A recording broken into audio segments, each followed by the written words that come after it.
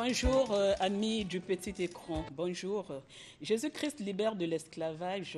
C'est le thème que nous allons aborder dans l'émission Dites-le d'aujourd'hui. C'est aussi cette problématique que le pasteur euh, Moshe Barnabas, de l'église Bethléem va expliquer du vendredi 9 au samedi 10 juillet 2021 à 16h au numéro 15 de la rue Fulumweri à Mukondo. Nous allons également parler de la chrétienté. Être chrétien, c'est qui? Qui doit être chrétien? Alors, euh, nous recevons cet après-midi, je l'ai dit tantôt, le pasteur euh, Moshe Barnabas. C'est notre invité donc de cet après-midi. Nous allons le recevoir. Je ne suis pas seul dans ce plateau avec euh, Spencer Opassa, qui n'est plus à présenter, avec Ismaël Akiana. Bonjour Nathalie. Bonjour. Pasteur, bonjour. Bonjour. C'est toujours un plaisir de vous recevoir. On ne le dirait jamais assez. Lorsque le pasteur arrive, il vient toujours avec un message. Il quitte euh, loin, loin, loin, loin, à 8000 km. Il quitte Rouen. Il vient toujours euh, au Congo parce qu'il a toujours un message à donner au peuple de Dieu. Il veut toujours édifier le peuple de Dieu, en général et particulièrement le peuple congolais. Pasteur, être chrétien,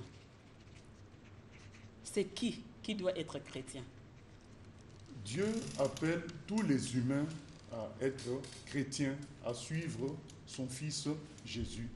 Et quand est-ce qu'on devient chrétien? C'est lorsque on réalise qu'on a le péché en nous et que ça finira mal pour nous, déjà par la mort physique et ensuite par la mort éternelle, le feu éternel.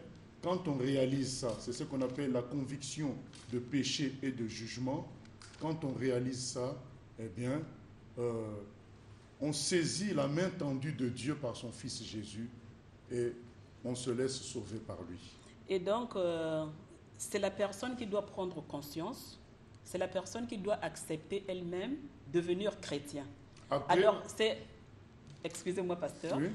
c'est à quel moment? Est-ce que c'est après avoir eu le baptême, en passant par euh, le baptême, qu'on devient chrétien, ou on peut devenir chrétien tout simplement parce que on a accepté Jésus ou on a accepté Dieu dans sa vie Au départ, il y a un contact avec la parole de Dieu. Donc quand on fait ce contact avec la parole de Dieu, où on comprend par la parole de Dieu qu'on est dans le péché, on est dans le mal et qu'on finira mal, donc qu'est-ce qu'on fait? On demande le salut de Dieu par son Fils Jésus.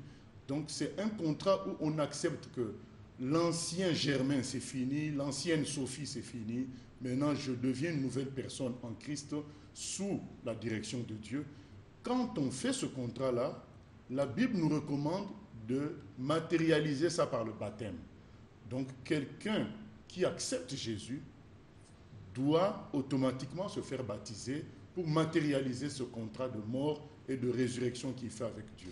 Et donc, euh, on devient réellement chrétien lorsqu'on est passé par le baptême. Oui, Mais donc alors, ça se quel matérialise baptême? ainsi. Il n'y a qu'un seul baptême? Le baptême, on te plonge dans l'eau, on te baptise, donc on te plonge totalement dans l'eau alors que tu es conscient de ce que tu fais et on te baptise au nom du Père, du Fils et du Saint-Esprit ou au nom de Jésus. Donc, on est conscient. Ismaël va poser ta question, s'il te plaît. Euh, Spencer, s'il te plaît, souffre un tout petit peu. Et euh, on fait cette émission euh, sous le contrôle hein, de monsieur l'administrateur délégué, monsieur Kibongi, qui est là dans le studio. Alors, pasteur, on est conscient. On accepte Jésus-Christ et on passe par les eaux de baptême. J'ai posé tout à l'heure quel baptême? Vous avez dit on, Il n'y en a qu'un seul. un seul baptême en passant par les eaux et en se faisant baptiser au nom de Jésus-Christ. Oui. Mais alors, ce baptême qu'on donne euh, aux enfants qui sont encore euh, bébés, Ce n'est pas un baptême. un enfant qui a quatre jours, un enfant qui a une année ou un enfant qui a trois mois? C'est une cérémonie religieuse, mais ce n'est pas un baptême. Le baptême, il est écrit dans Marc 16, 15. Allez prêcher la bonne nouvelle à toute la création. Ceux qui croiront et qui seront, seront baptisés seront sauvés. Donc, pour être baptisé, il faut croire d'abord. Il faut signer un contrat. C'est un contrat qu'on signe. Donc, un enfant, un bébé n'a pas signé de contrat, donc il ne peut pas être baptisé. Il est inconscient. Donc, il est inconscient. Donc, ce qu'on lui a fait, on l'a cérémonié, ce n'est pas un baptême.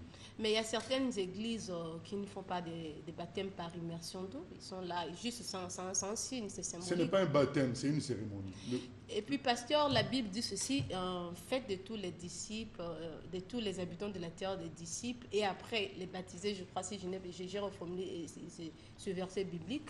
Mais nous avons constaté qu'il y a des gens qui sont baptisés, qui sont passés par des eaux de baptême, mais après, ils ont tourné le dos C'est-à-dire, ils ont tourné le dos à quoi? À Christ. Oui, Ah. ils ont, sont- ils, ont, ils ont tourné le dos. Donc, euh, la Bible nous dit que tout ce qui est caché sera dévoilé. Si quelqu'un n'a pas été sincère au moment de son baptême, nous, en tant qu'humains, on ne peut pas savoir ça à 100%. On peut avoir des impressions, mais à 100% non. Si quelqu'un fait très bien semblant, il peut aller au baptême, mais le temps montrera, euh, fera la différence entre ceux qui se sont engagés vraiment avec Jésus et ceux qui l'ont fait dans un esprit de religion. Il y en a qui le prennent comme une sorte de fétiche. Je suis baptisé, maintenant je suis protégé. Il n'y a pas une conversion véritable. Et le temps montrera que ces gens-là retourneront dans le monde. Mais il n'y a pas un processus à suivre pour, arri- pour arriver là, Au baptême? baptême.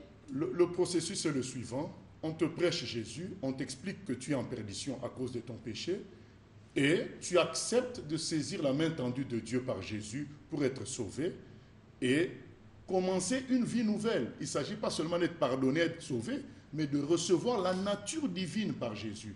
Et donc, cette nature divine fait de toi un enfant de Dieu. Et quand tu acceptes ça, c'est là qu'après, euh, on te fait baptiser, on, on te baptise. Voilà, il faut que ta décision soit ferme. Le Ah, processus, c'est qu'on vérifie que ta décision est consciente et ferme. Si ta décision est ferme et consciente, on, peut- on on peut te baptiser en un jour, en deux jours, en une semaine, en six mois. Ça dépend de la fermeté de euh, la décision prise par la personne. Pasteur, il y a des gens qui ont des liens de famille aussi qui sont réclamés, mais il peut prendre l'engagement aujourd'hui, mais demain, les démons de la famille réclament. Jésus est plus fort que les démons de la famille. Celui qui est en nous est plus fort que celui qui est dans le monde. Donc, quand Jésus t'a pris dans sa main, rien ne peut t'enlever de Parce sa que main. j'ai j'ai- j'ai- entendu une histoire où une personne dit que non, le diable m'a réclamé parce que les démons de ma famille, oui, j'étais chrétien, elle était même protocole, mais elle se retrouve maintenant dans, dans les bars. Elle, dit Non, ceci. elle n'était pas chrétienne. Donc, c'est ce qu'on on dénonce. Si on a pris ce thème-là de Jésus libère de l'esclavage, c'est parce qu'on veut dire que la plupart des Con- Congolais ne sont pas chrétiens. Ils vont dans les églises et ils sont encore Ce sont les esclaves. chrétiens de dimanche. Ils sont encore esclaves de beaucoup de choses. On vient leur dire arrêtez d'être religieux.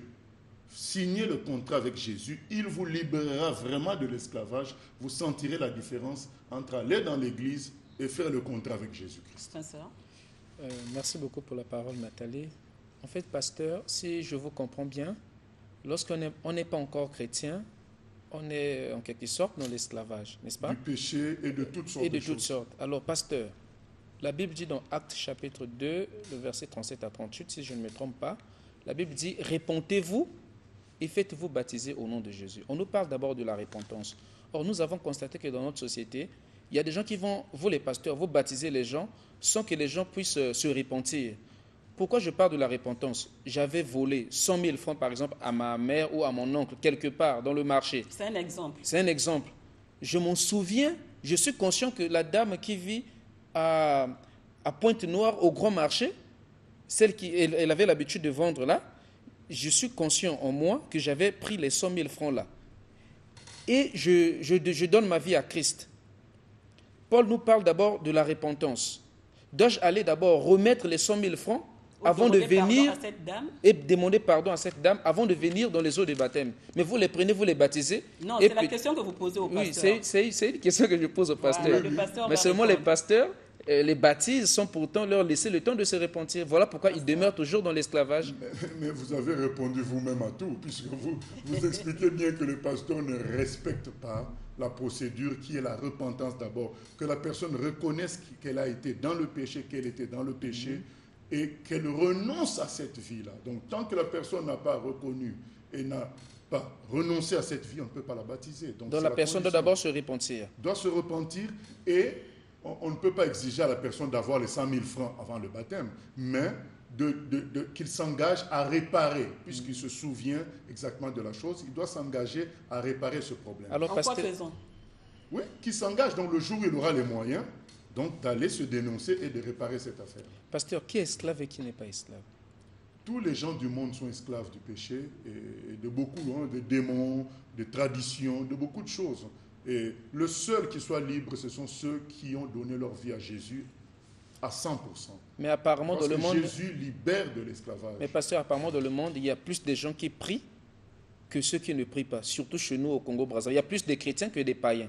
Donc, il y a beaucoup d'esclaves dans dans les églises qui se comportent Non, aussi là, mal. j'ai pas compris la question. Vous êtes dit Il Il y a plus de chrétiens. Il y a plus de chrétiens dans le monde que nous vivons. Oui, au qu'il y a Congo plus notamment. au Congo-Brazzaville. Moi, je parle du Congo-Brazzaville. Il y a Oui. plus de chrétiens que des païens. Et donc, si je comprends bien, Euh, tu avais fait des, des enquêtes, euh, des investigations pour oui, on a fait. compte qu'il y a plus de Oui, oui, Nathalie. Dans la Au Congo-Brazzaville, congolaise, il y a au, plus au de Congo-Brazzaville, il y a plus de chrétiens que des païens. Mhm. Hein. Parce que ceux qui sont à vont à l'église, ils se- font appeler des chrétiens. Oui, oui, Et donc, c'est la plupart, la plupart des gens qui prient, qui prient, ce sont eux qui ne respectent pas souvent aussi les lois de la nature. Mais de la no- Et donc, il y a plus d'es- d'esclaves dans l'église que dans le monde. Non, il n'y en a pas plus dans l'Église que dans le monde, puisque le monde n'est fait que d'esclaves du péché et de beaucoup d'autres choses. Mais dans l'Église d'aujourd'hui visible du Congo, Mhm. la majorité, effectivement, n'est pas chrétienne. C'est des gens qui vont dans les églises, mais ils ne se sont pas vraiment convertis, et donc ils sont esclaves. Et donc, Donc, je euh, reviens à ce que je disais tout à l'heure. Spencer, euh, euh, garde ton mal en patience. Retiens la question. Tout à l'heure, je poserai au pasteur. Euh, pasteur, je reviens à ce que je disais quand on a commencé donc cette émission. On devient chrétien en se repentissant. On s'est repenti, on regrette euh, sa vie qu'on menait hier. Mhm. Hein? Sûrement une mauvaise vie Oui, qui n'est pas en norme, cette vie qui n'est pas en norme Avec la avec, Bible. la parole biblique, avec Dieu. Alors on se repentit. Pour se repentir, dans d'autres églises qu'on connaît, les églises traditionnelles, il faut aller voir un prêtre, confesser ses péchés, dire tout à ce prêtre-là, j'ai tué, j'ai volé, euh, je me suis mal comporté sexuellement, j'ai fait ci, j'ai fait ça. Et puis euh, le prêtre, ou je ne sais pas, le père déclare que vos péchés sont effacés. Mais dans l'église de réveil, comment ça se passe? Lorsqu'on s'est repenti avant de recevoir euh, le baptême, est-ce qu'il faut passer par les Non, enseignements? moi je ne viens au nom d'aucune église, je ne viens pas au nom de l'église de réveil ou de quoi, moi je viens au nom de Jésus. Le- C'est Jésus seul qui sauve. Donc, et comment se faire baptiser, comment être amené au salut, c'est avec un serviteur qui vient au nom de Jésus, pas au nom d'un mouvement. Lorsqu'on demande pardon à Dieu, Mhm. on change de vie, on accepte d'être chrétien. Faut-il aller se confesser devant un homme de Dieu? Devant un serviteur de Dieu, on, on reconnaît ses péchés, on reconnaît son passé mauvais. On voit dans la Bible des gens même qui prennent leur livre de magie, qui brûlent. Donc tu reconnais, tu, tu vomis au fait le mal de- devant la personne et tu t'engages maintenant à commencer une nouvelle vie avec Jésus. Donc la personne prie pour nous, on reçoit Christ et après on se fait baptiser. Et donc, pour euh, rebondir sur la question que Spencer avait posée tout à l'heure, pasteur, nombreux sont encore euh, païens.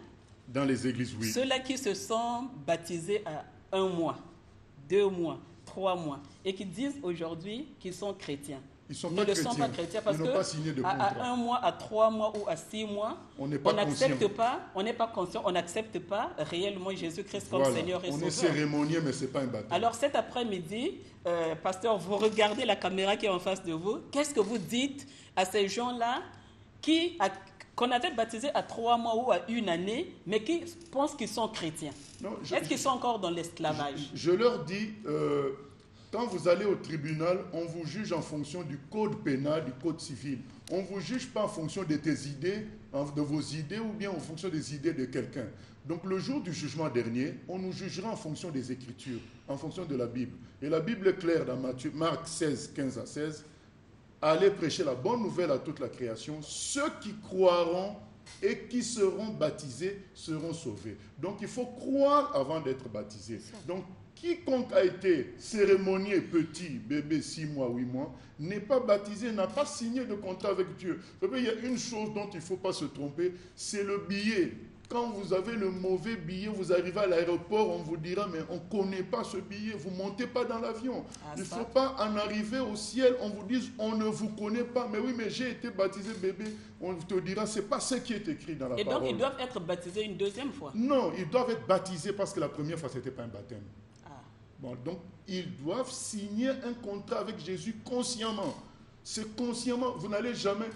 Quand vous avez un an, si vous aviez euh, votre papa qui est mort, vous a laissé des choses, et qu'à un an, on vous a fait signer le contrat, est-ce que vous serez d'accord? Quand vous allez grandir, vous allez dire c'est impossible. J'étais bébé, comment j'ai pu signer la vente de la maison? Mais, mais, pasteur, nous sommes au 21e siècle.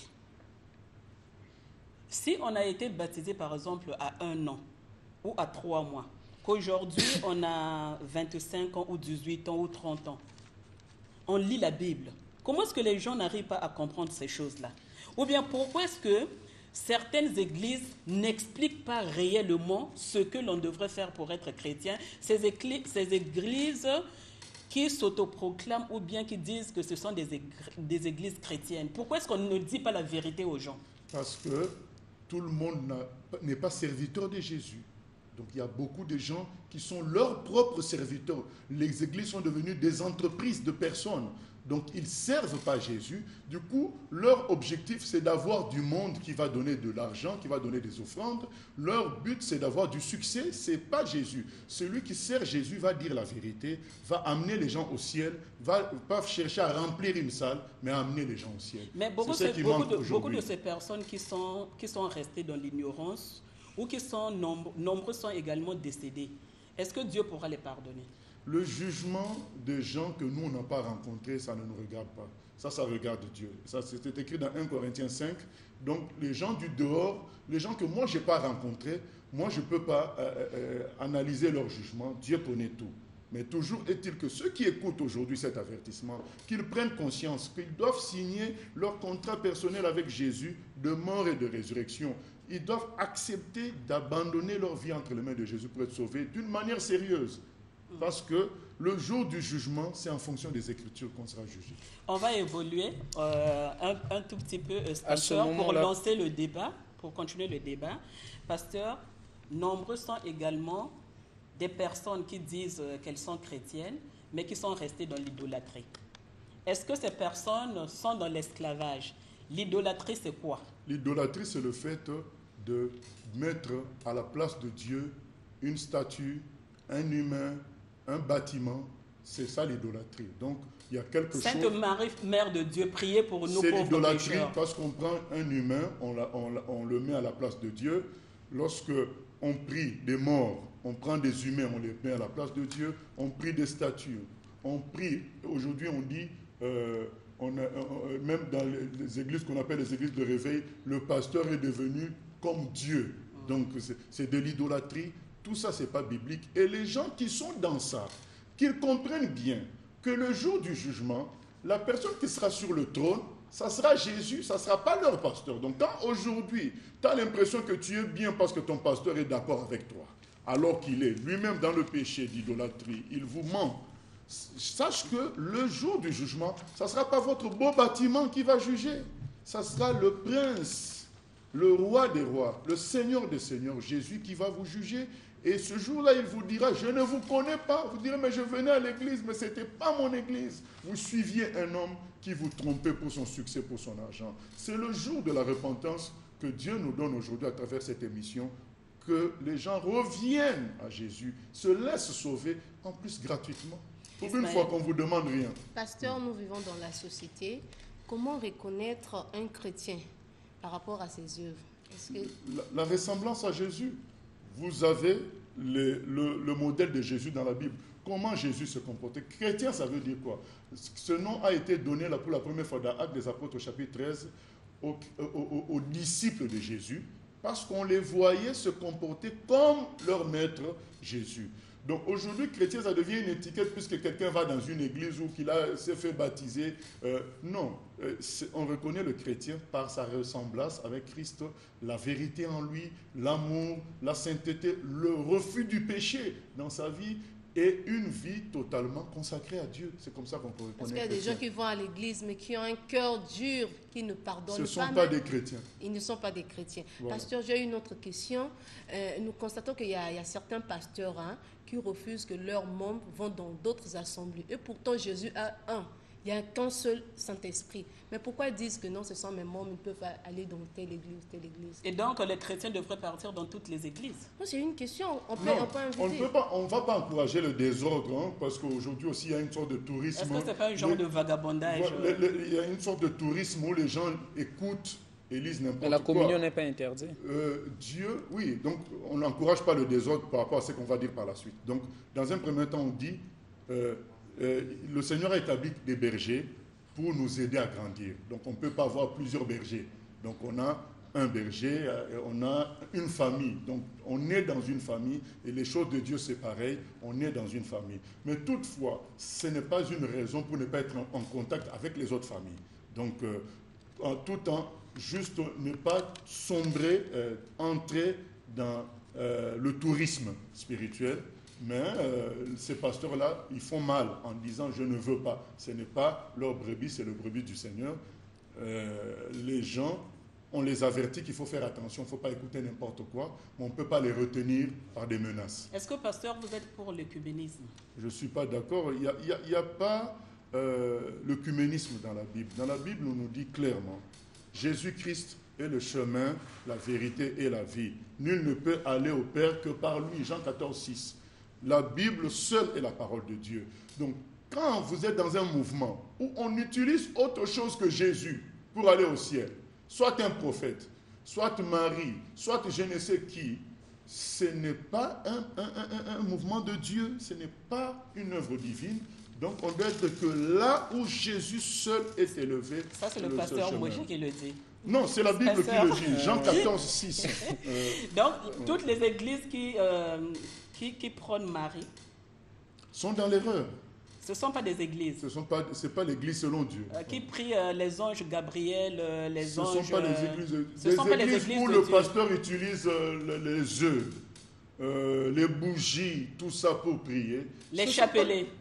Oui, le, le- le chapelet, on a déjà dit, le, le- le catholicisme, c'est clair, c'est pas de Dieu. Mais il n'y a pas que le catholicisme. Il y a toutes ces églises où les pasteurs sont en réalité des munza, donc des gens qui utilisent l'eau et le sel. Ils ont juste le nom, le titre de pasteur, mais ils utilisent le sel, ils utilisent euh, l'eau, ils utilisent tout ça. Ce sont des sectes qui ne sont pas bibliques. Spencer. Voilà. Pasteur, l'esprit ne travaille pas quand même en l'air. Donc euh, vous aussi, vous êtes idolâtre. Vous avez dit tout à l'heure que euh, l'idolâtrie, c'est le fait d'adorer les idoles, d'adorer les hommes. Mais vous adorez Jésus. Jésus n'était-il pas un homme? Jésus est Dieu et homme à la fois. Ça, c'est vous qui le dites, parce que, C'est pas moi la Bible, je C'est la vais Bible lire. qui le dit. Je vais lire. parce que Jésus n'a jamais dit « je suis Dieu Euh, ». Dieu travaille en lui. mais on Mais va vous lire. adorez Jésus On sous quelle lire. forme? On, on peut lire, c'est la répondre. Bible qui va nous trancher, non? Voilà. D'accord, pasteur Voilà, Jean 1, au commencement était la parole, et la parole était avec Dieu, et la parole était Dieu. Ça, c'est le premier verset. Et le verset 14, et la parole a été faite chair, et elle a habité parmi nous, pleine de grâce et de vérité, et nous avons contemplé sa gloire, une gloire comme la gloire du Fils unique venu du Père. Donc la parole est Dieu, et cette parole est venue en chair par le Fils Jésus. Donc, Je rebondis sur ce Jésus que... est Dieu, donc on peut l'adorer. Et dans Jean 20, 28, Thomas s'est prosterné devant lui. Il a dit, mon Seigneur est mon Dieu. Jésus n'a pas refusé ça. Ça, c'est, d'après la Bible. Voilà. Je rebondis un peu sur ce que Nathalie euh, venait Mais il de n'y a dire qu'une tout à seule l'heure. vérité, c'est la Bible. D'accord, pasteur. Je rebondis un peu sur ce que Nathalie venait de dire tout à l'heure euh, sur Marie. Mais si Marie répond à leur prière, Elle ne peut pas répondre. Donc, mais il y a des gens qui disent qu'il y a des miracles qui s'opèrent, il y a des prodiges, eh ben, il y a des bénédictions. Eh ben, il y a des faux miracles. Et Marie aussi descend. Les faux miracles, ça existe. Est-ce que dire- c'est le mari de la Bible ou bien c'est... Je comprends pas. Non, ce n'est pas le mari de la Bible. Le mari de la Bible, la, la- la- la mère de Jésus, elle est tranquille au paradis, au ciel. Tout ce que les gens font là, c'est Diane d'Éphèse, dé- un démon euh, qui a pris le nom de Marie. Ça existe depuis longtemps. Mais euh, euh, la vraie Marie, elle n'a rien à voir avec tout ça. Elle est tranquille au ciel. Une dernière question, pasteur. Mais Dans- pour le faux miracle, c'est écrit, hein, Matthieu 24, 24, hein, car il s'élèvera de faux Christ et de faux prophètes. Ils feront de grands prodiges et des miracles au point de séduire, s'il était possible, même les élus. Vous avez dit, pasteur, qu'on peut parler au ciel euh, sans passer Par par, euh, Jésus. par un prophète, quelqu'un. Non, par Jésus. Par Jésus seulement. Seul Jésus. Jean Mais l'esprit 14, ne 6. travaille pas en l'air. Et là, vous prêchez la bonne nouvelle aux gens. Je me réponds, je donne ma vie à Dieu. Mais comment je vais faire pour choisir un endroit où je vais prier dans la vérité? Tu vas aller dans plusieurs endroits, tu vas utiliser la Bible comme repère. Est-ce que dans cette, église, vous trouvez un trône, donc un gros fauteuil devant, un gros euh, euh, devant, où l'homme qui s'assoit prend comme la place de Dieu? Ce n'est pas la bonne église. La bonne église ne doit pas, il n'y a qu'un seul trône, c'est le trône de Dieu. vous, vous devez comparer avec le caractère de Jésus dans la Bible. Est-ce que Jésus demandait l'argent aux gens? Non. Donc, euh, quand vous Des êtes prières dans de une 100 000. église, oui, prière de 100 000, ceux qui donnent ceci. Il y en a même qui demandent l'argent pour telle prière, pour même des rendez-vous avec le pasteur, il faut payer des consultations. C'est c'est démoniaque. Donc, donc, prenez exemple. Aujourd'hui, le problème qui se trouve en Afrique, c'est que les gens ne lisent pas la Bible. Mhm. Ils suivent un homme, ils suivent des bâtiments. Donc, tant que vous avez un certain succès, vous avez une éloquence, vous semblez plus ou moins correct avec un costume cravate, voilà, et que ça produit de fruits, il y a du monde qui vous suit, ils vous suivent. Ils ne lisent pas la Bible pour comparer le berger qu'ils doivent suivre à Jésus. Tu dois comparer, si ça ressemble à Jésus, là tu suis. Une dernière question, pasteur. Euh, dans Apocalypse 20, la Bible nous dit qu'il y avait deux livres. hein. Jean l'a vu dans l'Apocalypse, le livre de vie, le livre de vie de l'agneau et un livre de la mort. Et moi, je m'aimerais poser une question. Euh, comment est-ce que je saurais que mon nom est dans le livre de vie de l'agneau? Et quelle est la différence entre le livre de vie et le livre de vie de l'agneau? Non, euh, on va lire plutôt parce que il n'y a pas. On ne va pas compliquer Entre les gens. le livre de la vie et le livre de la mort. Il y a le livre de vie et le livre de vie Non, il- il n'y a, que- il y a le livre de vie. Il- C'est le livre de vie. Il n'y a que le livre de vie. Ce, Mhm. ce livre-là de vie contient les sauvés, le nom des sauvés. Voilà. Donc si ton nom n'est pas dans ce livre-là, tu n'es pas sauvé. Donc c'est Mais, ça. mais pasteur, Maintenant, il y a un autre livre qui contient les actes des gens, les mauvais comportements. Tout ce qu'on fait sur terre est filmé. Donc tout le monde a des mauvais comportements. Pensez-vous, oui, mais la, la- la différence avec ceux qui croient en Jésus, c'est que leur, leur mauvais comportement est effacé. Le livre est blanc. Donc le livre des mauvais actes, chez les gens qui sont en Christ, le sang de Jésus efface tout ça. Y a-t-il des pasteurs qui sont aussi esclaves? Euh, euh, euh, ce sont des faux pasteurs, oui, il y en a beaucoup, beaucoup, donc la majorité d'ailleurs, ils sont esclaves. la Comme- majorité des pasteurs. La majorité des pasteurs en Afrique aujourd'hui, c'est des escrocs qui font leur business. Et on les reconnaît parce qu'ils ils- ils vivent toujours en fonction de l'argent. C'est l'argent qui les mène, ainsi que le nombre dans l'Église. C'est tout ce qui les intéresse. Ce n'est pas la vraie prédication, ce n'est pas le salut. Pasteur, euh, en tout cas, je suis émerveillée par de ce que vous dites. parce que Émerveillée, je- hein. Ah, Quand j'étais dans une église, on a dit offrande du prophète, offrande de ceci. En tout cas, c'était juste des. Offrande de Offrande transconstruction. De, de construction. C'est le vol. Les offrandes, offrandes sur offrande. C'est du vol. Et Pour- quand pour- vous restez là, vous encouragez le Pour mal. une prière, il faut une offrande. Donc, ce n'est pas de Dieu. Parce que ce pasteur m'avait dit que dans toutes choses, il faut qu'il y ait des sacrifices. Il faut s'aimer. Et- Parce écoutez, que la Bible dit que n'allez pas à la maison Non, de non, Dieu non, les non. mains vides. Oui, oui, attendez, on va lire alors. Actes des apôtres, chapitre 9. Parce que pour que vous voyez par vous-même, Actes des apôtres, chapitre 9, on a voulu acheter quelque chose. Écoutez la réponse de Pierre. Voilà, c'est écrit, Actes des apôtres, chapitre 9. Excusez-moi plutôt, chapitre 8. Voilà, c'est écrit, lorsque Simon vit que le Saint-Esprit était donné par l'imposition des mains des apôtres, il leur offrit de l'argent en disant, accordez-moi aussi ce pouvoir afin que celui à qui j'imposerai les mains reçoive le Saint-Esprit. Mais Pierre lui dit, que ton argent périsse avec toi, puisque tu as cru que le don de Dieu s'acquérait à prix d'argent. Il n'y a pour toi ni part ni lot dans cette affaire, car ton cœur n'est pas droit devant Dieu. Repends-toi donc de ta méchanceté et prie le Seigneur pour que la pensée de ton cœur te soit pardonné s'il est possible. Car je vois que tu es dans un fiel amer et dans les liens de l'iniquité. Ouais, quelle est la réponse des apôtres quand on leur propose l'argent pour un don, pour quoi que ce soit? Ils disent, mais que, que ça périsse avec toi. Tu es dans le péché, tu es dans la méchanceté. Donc, Alors, vous comprenez bien que toutes ces pratiques-là sont sataniques. Alors, pasteur, Jésus sauve. Gloire à Dieu. Amen. Mais il y a beaucoup de jeunes filles et de jeunes garçons, je parle là de tout, sous le contrôle de toutes les églises, vivent dans l'impudicité. Dans dans la vie, ce qu'on appelle aujourd'hui la sont- vie de copains et Mais ce ne copines. sont pas des chrétiens. C'est-à-dire que moi, je suis jeune, je ne suis pas encore marié, j'ai mon argent, je trouve une belle euh, jeune fille dans la rue, je vais la draguer, Et euh, oui, oui. on vit ensemble sans mariage. Mais il y a beaucoup de gens, des, des- des foyers au Congo-Brazzaville, même dans le monde entier, ils vivent sans mariage. Sont-ils esclaves? Ils sont esclaves du péché parce que leur état de vie n'est pas légal. Ça, c'est grave, hein, ils seront perdus. Ils sont perdus. Dès maintenant, ils sont perdus. Donc, Ah, Donc, beaucoup de gens iront en enfer, pasteur. S'ils ne se répandent pas, là, nous, nous faisons l'émission pour qu'ils se répandent, pour qu'ils n'aillent pas en enfer.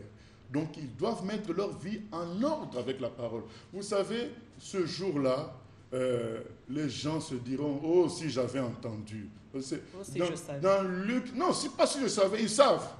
Mais ils se disent C'est comme ça. euh, Il y a tout le monde qui est dans le péché. Mais c'est pas parce que tout le monde prend du poison que toi, tu vas prendre du poison. Toi, sors-toi de là. Et que chacun prenne sa vie au sérieux. Ta vie mérite mieux que ça. Ta vie mérite le paradis éternellement, pas le feu éternel. Et ce jour-là, les gens diront, mais c'était un petit jeu, il suffisait seulement que je mette... Qu'est-ce qui m'a pris? Ce qui t'a pris, c'est d'im- d'imiter les autres. Dans mon quartier, Vous voyez même, des euh, pasteurs avec plusieurs femmes, vous voyez des pasteurs nus à la télé, ça vous autorise maintenant à vous dire, ah, moi, chrétien simple, pourquoi pas? Nous tous, nous sommes des hommes. Attention, le jugement est individuel. Quand tu touches ton salaire, tu touches ton salaire toi-même. Hein? Tu ne touches pas avec ta famille, vous êtes là devant le patron. Non, tu prends l'argent devant le patron toi-même. Et le jugement sera individuel. Imiter les pasteurs qui font la débauche sur Internet ne sauvera personne. Ces gens-là iront en enfer et ils t'entraîneront. D'accord, pasteur. Le numéro de téléphone est le 06 577 85 98. Je répète, 06 577 85 98. Vous pouvez poser une ou deux questions euh, chez le pasteur Moshe. Il répondra à votre numéro de à votre question, il répondra à votre question. Mais sinon, le numéro du pasteur, après l'émission, vous pourrez contacter le pasteur au 06 777 48 93. 06 766 48 93. 06 766 48 93, c'est le numéro du pasteur Moshe. Et on va prendre le téléphone. Allô? Bonjour. Bonjour, vous êtes en direct. Le pasteur Moshe vous écoute. Bonjour Madame Nathalie, bonjour le plateau, bonjour euh, Bonjour. Bonjour. pasteur. De l'évangéliste Mon Désir Ondende. On Ah, bonjour, bonjour l'évangéliste. En tout cas, je tenais juste à donner euh, la main d'association au pasteur euh, qui vient d'exposer tout à l'heure. Oui. En tout cas, euh, c'est la main d'association que nous donnons par rapport à cette vérité Amen. qui est prêchée, une vérité qui est combattue, malgré que les temps deviennent difficiles. En tout cas, pasteur, Dieu vous bénisse. Amen. Merci beaucoup. Euh, nous serons en contact. Les dames qui sont sur le plateau me connaissent. Ils pourront nous mettre en contact pour que l'évangile soit prêché authentiquement parce que le retour du Christ est imminent. Je voulais vraiment vous saluer et vous bénir abondamment Amen. et bénir encore euh, toute l'équipe Merci, pour, euh, merci, pour pasteur. cette émission exceptionnelle. Merci Signé beaucoup, pasteur. Merci beaucoup. Merci, pasteur. Je répète, c'était donc l'évangéliste euh, Ondene. Il vient aussi souvent dans cette émission. Merci, euh, évangéliste. Le numéro de téléphone, je le répète, je le répète c'est le 06 577 85 98. On va prendre un deuxième, pasteur. Allô?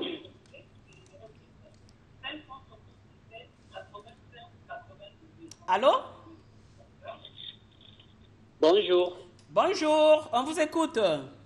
Ben, je m'appelle euh, le frère Fonis. Je suis à Jacopango. Oui, Ben, je voudrais beaucoup féliciter le pasteur parce que la façon dont il est en train d'expliquer, d'interpréter la parole de Dieu, il le fait vraiment euh, suivant ce qu'ont nous annoncé les, les, les témoins oculaires, les apôtres.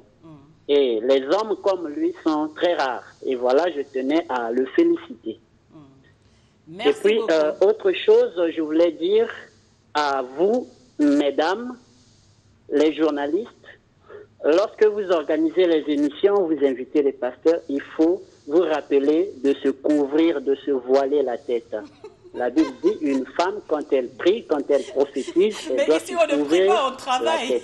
La Là chevelure a c'est été donnée comme Le, le Bon, ça, pasteur c'est, pourrait ça, on encore fera toute une émission sur euh, cette thématique-là. C'était tout. La chevelure, Je c'est vais un- raccrocher. Merci. Ah, ça, c'est un autre débat. La chevelure a été donnée Merci. comme Bon, ça, le, pasteur pourra également nous répondre. Là, on n'est pas en train de, de prier. Nous sommes en pleine émission. On va prendre un dernier téléspectateur, pasteur, et puis euh, vous répondrez. Allô? Oui, allô? Oui, vous êtes en direct. Oui, je, je voulais poser une question. Je voulais tout simplement avoir le précisément. Je voulais parler, je voulais parler au pasteur? Euh, Allez-y. ouais, je voulais parler au pasteur par rapport à, à- à- au type des offrandes. Est-ce qu'il n'existe-t-il pas l'offrande, l'offrande de, de prophète?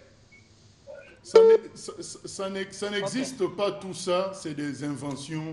Euh, c'est des inventions humaines. téléphone, Euh, nous, nous, nous devons dénoncer ces, ces- ces- ces escroqueries-là. Donc, euh, euh, les offrandes, c'est quelque chose de libre.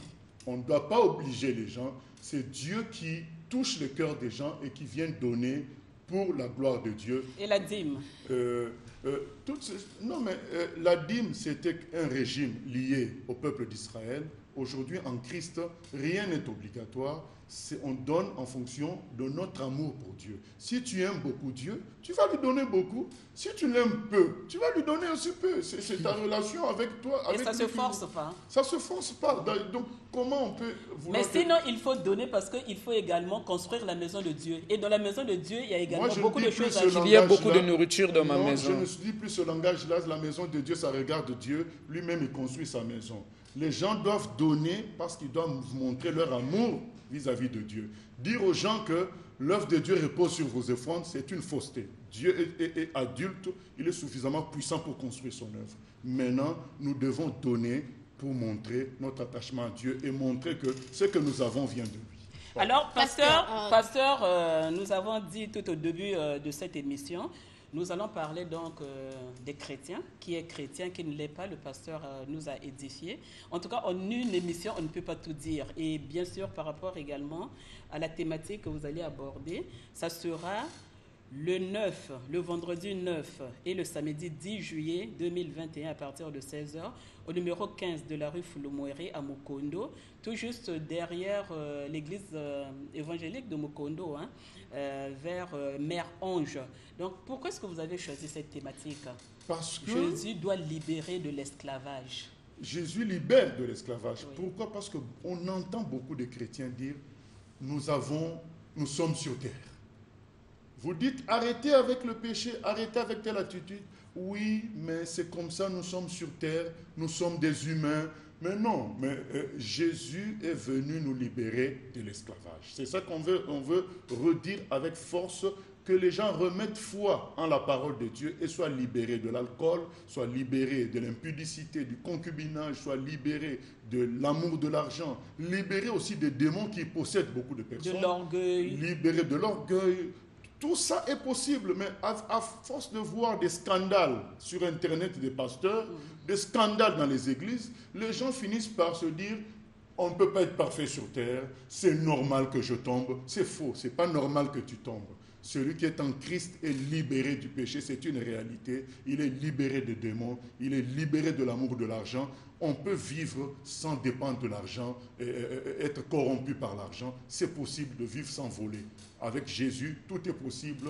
C'est pourquoi nous avons choisi ce thème pour que les gens arrêtent de faire comme excuse on a un corps, on est des humains, c'est un homme, c'est normal qu'il tombe. C'est faux, c'est pas normal quand on est en Christ. Pasteur, est-ce que la délivrance est gratuite? Parce que j'étais dans une église, on m'a dit que non, quand vous passez au service de la délivrance, il faut donner les actions des grâces, C'est il faut, il faut démoniaque. accompagner. C'est démoniaque.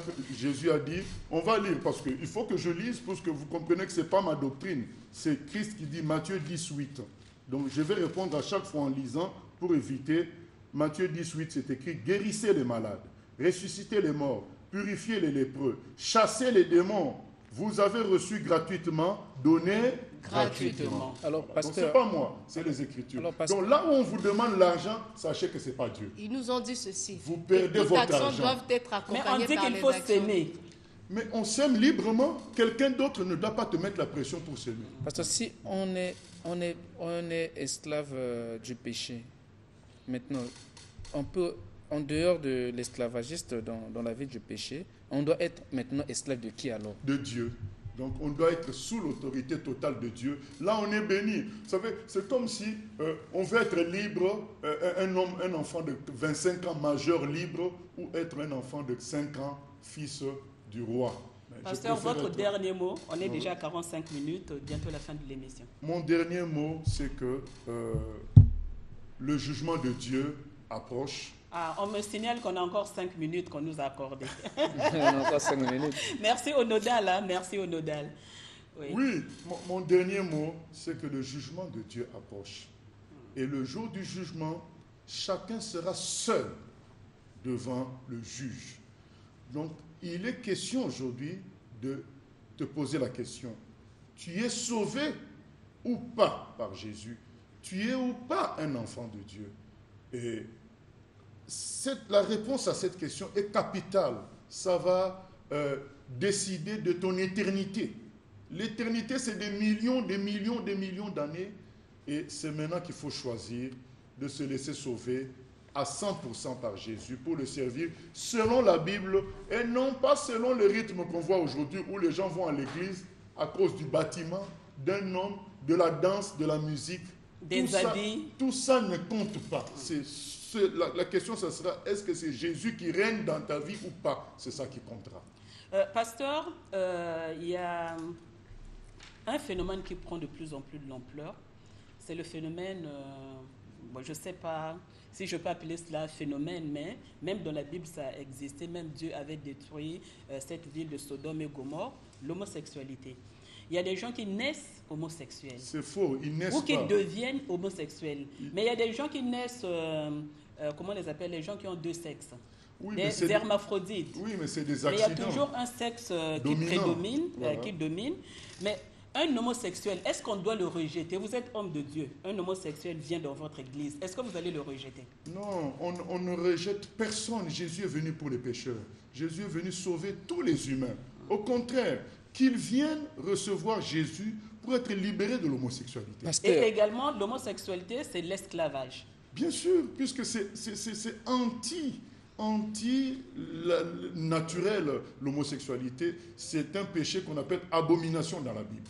Alors, le numéro de téléphone euh, du pasteur, c'est le 06 766 48 93. Je donne le numéro de pasteur parce que le pasteur euh, euh, Moshe Barnabas n'est pas sur la place de Brazzaville. Mais lorsqu'il a quelque chose à dire au peuple congolais, il quitte la France et lorsqu'il vient, on le reçoit toujours dans l'émission Dites-le. Donc, son numéro, ici à Brazzaville, c'est le 06 766 48 93. Je répète, 06 766 48 93 euh, pour ceux-là qui veulent voir le pasteur euh, Moshe, discuter avec lui ou venir donc euh, au séminaire qu'il va organiser le vendredi 9, le vendredi 9 et samedi 10 juillet 2021 à partir de 16h au numéro 15 de la rue Fulumweri à Mokondo, arrêt de bus Mère Ange avant le marché derrière la banque LCB. Pasteur, il y avait une question qu'un téléspectateur avait posée ici en ce qui concerne la voile. Est-ce que c'est obligatoire pour Le voile. Non, vous, vous êtes des journalistes, vous êtes au travail. Moi, je ne peux pas euh, juger de cela. Mais sinon, à l'église, il faut se couvrir Non, la tête. quand on prie, quand on prie, euh, mais moi, je, je- je- je pense que c'est des questions secondaires. C'est le plus important. D'abord, c'est de recevoir Jésus à 100%, donner sa vie à 100%. Euh, Spencer, toutes les questions après l'émission. Merci donc à Gilles Bral et Congo Ndengue. Merci au Nodal, merci à la télédiffusion, toute l'équipe de cet après-midi, merci. Je répète que rendez-vous est pris avec le pasteur Moshe le vendredi 9, samedi 10 juillet 2021 à 16h, à partir de 16h. Il faut dire 16h, hein, pasteur, parce que chez nous, quand on dit à partir de 16h, les gens viennent à 17h ou à 18h. Ça fait partie de, de, de l'esclavage du pays.